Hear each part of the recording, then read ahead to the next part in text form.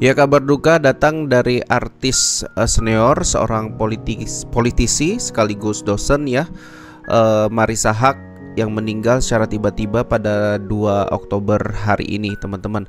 Mari kita dengarkan berita terkait meninggalnya sosok Marisa Haq.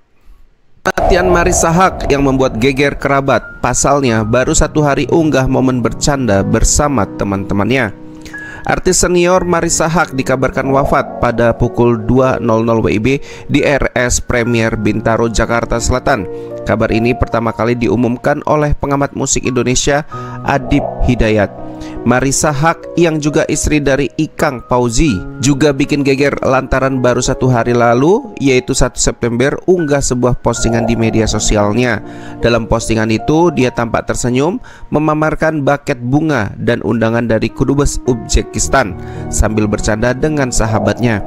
Semoga Mbak Marisa Haq ditempatkan di sisi Tuhan Yang Maha Esa dan diterima segala amal kebaikannya semasa di dunia. Misteri Marisa Ya, jadi sebelum meninggal uh, yang bersangkutan uh, Mbak Marisa ya sempat memposting sebuah uh, postingan di mana sedang uh, memegang sebuah bucket ya teman-teman.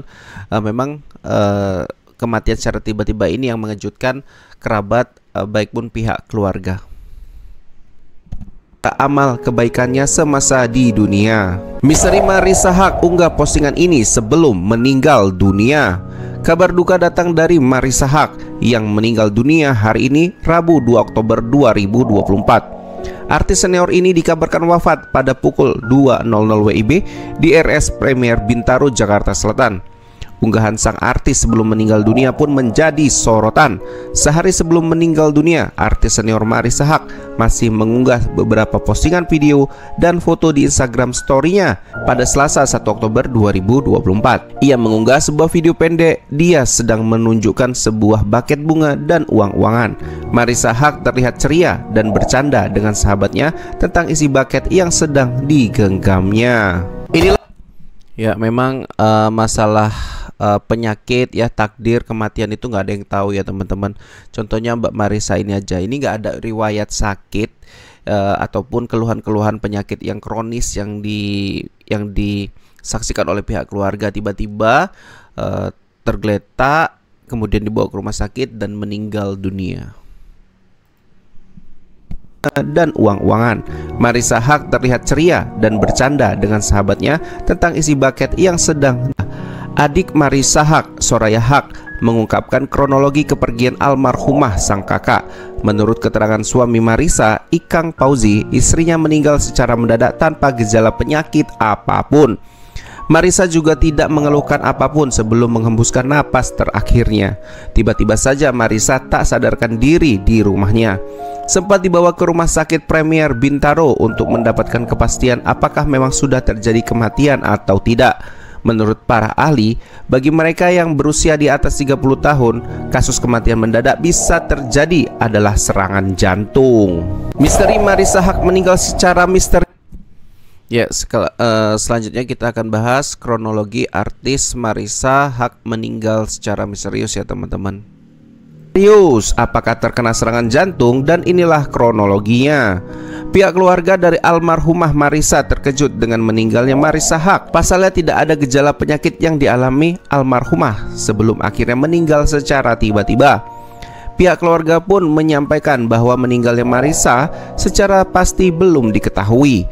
Namun, mengutip pernyataan ahli kesehatan Profesor Tan, bagi mereka yang berusia di atas 30 tahun, masalah kardiovaskular yang bisa terjadi adalah serangan jantung, miokarditis atau peradangan otot jantung, stroke dan diseksi aorta, yaitu robekan pada lapisan dalam pembuluh darah besar. Kisah Uh, jadi kalau bisa dibilang uh, mungkin penyakit ini adalah penyakit dalam ya teman-teman yang mungkin uh, secara tidak sadar ya mungkin sudah lama ya diderita sama uh, Mbak Marisa ya. Adapun juga ahli juga menceritakan ada kemungkinan juga serangan jantung ya.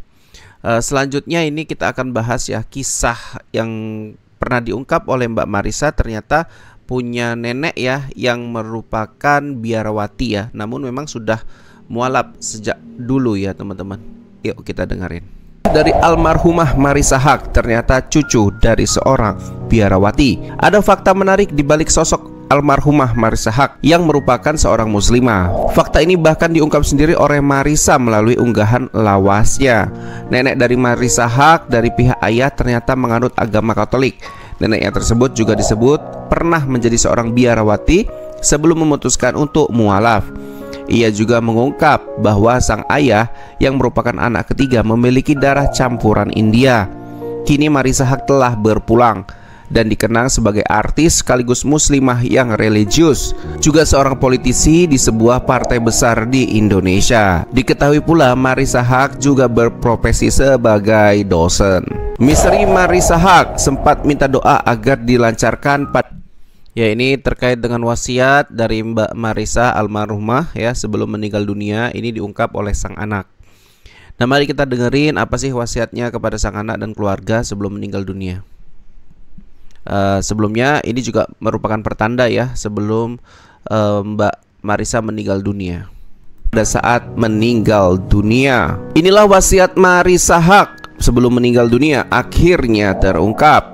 Kabar duka artis tanah air sekaligus politisi Marisa Haq telah berpulang ke sisi Allah pada Rabu dini hari 2 Oktober 2024. Marisa Haq meninggalkan suaminya Ikang Pauzi dan dua putrinya Isabella Mulyawati Pauzi serta Marsha Cikita Pauzi. Cikita Pauzi meminta bantuan netizen untuk memberikannya pencerahan terkait tata cara penguburan jenazah di TPU Tanah Kusir. TPU Tanah Kusir pun menjadi sebuah wasiat yang diminta Marisa Haq untuk dimakamkan di sana. Ungkap Putri Marisa Haq di media sosial pribadinya. Misteri Ya, jadi sebelumnya sang putri daripada almarhumah itu minta ya, minta bantuan bagaimana tata cara supaya almarhumah yang telah meninggal ini yang telah berwasiat ini meminta untuk dikuburkan di, di tanah kusir ya teman-teman. Dan alhamdulillah yang kita lihat pada sore tadi pada asyar ya ini almarhumah sudah disemayamkan dan dikuburkan di tanah kusir seperti wasiat yang dimintanya.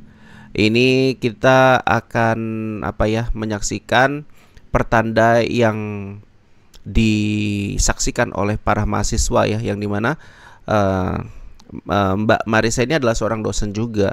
Dan situ terungkap juga bahwasanya Mbak Marisa ini menyoal tentang kematian ya mati syahid. Nih kita dengerin. Marisa Hak sempat minta doa agar dilancarkan pada saat meninggal dunia. Marisa Grace Hak atau Marisa Hak merupakan seorang dosen di salah satu kampus kawasan Kemang, Jakarta Selatan.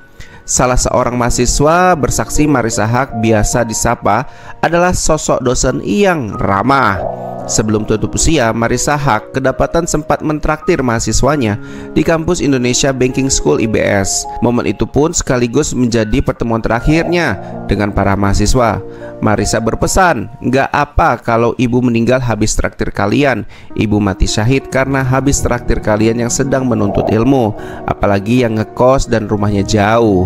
Ia pun juga meminta didoakan ketika nantinya meninggal dunia. Ya, jadi itu kesaksian sekaligus pertemuan terakhir dengan uh, dosen yaitu Marisa Haq dengan uh, siswa mahasiswanya ya teman-teman. Di mana di situ beliau mengungkap kalau saya habis traktir kalian meninggal berarti saya mati sahid karena telah membantu kalian. Ya kemudian ketika saya nanti mati atau meninggal dunia kalian saya minta doakan saya. Itulah pesan atau pertanda yang bisa kita dengar dari pemberitaan yang saat ini uh, sudah terpublikasi di media sosial. Uh, sampai sini dulu kita lanjut di part berikutnya.